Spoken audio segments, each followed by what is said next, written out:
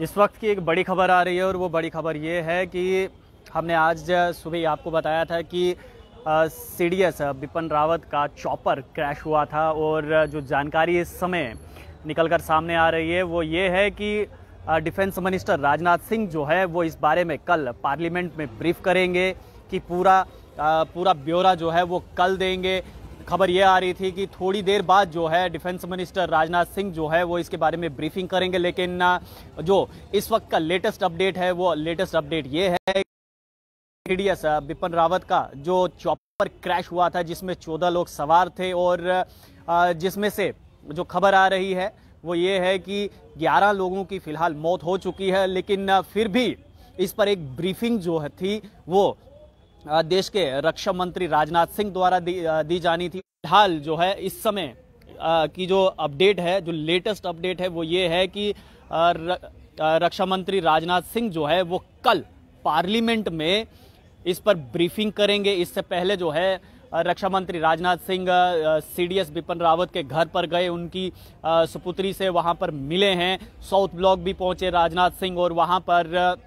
army chief N N Naravane से उन्होंने meeting की, बातचीत की और तमाम जानकारी जो है वो इकट्ठा करी है और फ़िलहाल अभी भी राजनाथ सिंह जो है वो साउथ ब्लॉक में हैं। Army chief N N Naravane के साथ वहाँ पर बातचीत चल रही है और ज़्यादा जानकारी जो है वो इकट्ठा कर रहे हैं और आपको मैं ये बता दूँ कि ये बहुत ही दुखद समाचार हमने जब आपको बताया था और उसके बाद हमने आपको विजुअल्स भी दिखाए थे कि किस प्रकार से उस चॉपर में जो है वो आग लगी हुई थी और जब शुरुआती खबर आई थी तब ये ये खबर थी कि चार लोग जो हैं वो वहाँ पर उस चॉपर में थे, जिनमें से तीन को रेस्क्यू किया गया था और एक को रेस्क्यू करने की कोशिश की जा रही थी। धीरे धीरे जैसे जैसे जानकारी आती रही, वैसे ही जानकारी जो है वो ये सामने निकल कर आई कि जो 14 लोग थे, उनमें से 11 लोगों के शव बरामद हुए हैं। लेकिन उम्मीद जो है, वो अभी भी यही है कि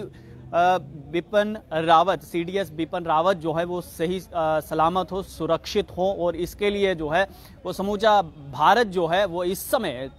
वो दुआ कर रहा है कि सीडीएस चीफ जो है बिपिन रावत, वो सही सलामत हो और जल्द से जल्द स्वस्थ होकर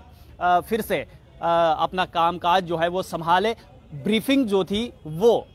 राजनाथ सिंह द्वारा जो खबर आ रही थी, जिस प्रकार से खबरें आ रही थी कि थोड़ी देर बाद जो है राजनाथ सिंह ब्रीफिंग करेंगे इस मामले पर, पूरे मामले पर। लेकिन जो लेटेस्ट अपडेट निकल कर सामने आ रहा है वो ये है कि जो ब्रीफिंग राजनाथ सिंह ने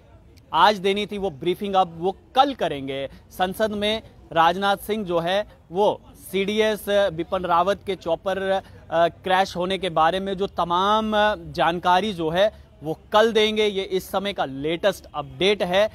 कि राजनाथ सिंह रक्षा मंत्री द्वारा जो ब्रीफिंग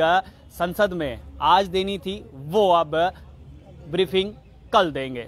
उम्मीद करते हैं कि सीडीएस बिपिन रावत इस समय सुरक्षित हो, इलाज चल रहा है उनका और सुरक्षित हो और जल्द से जल्द स्वस्थ होकर एक बार फिर से अपने पद को संभाले। आप लोग देखते रहिए अर्ली पोस्ट कैमरामैन गगन के साथ देव ठाकुर, जम्मू।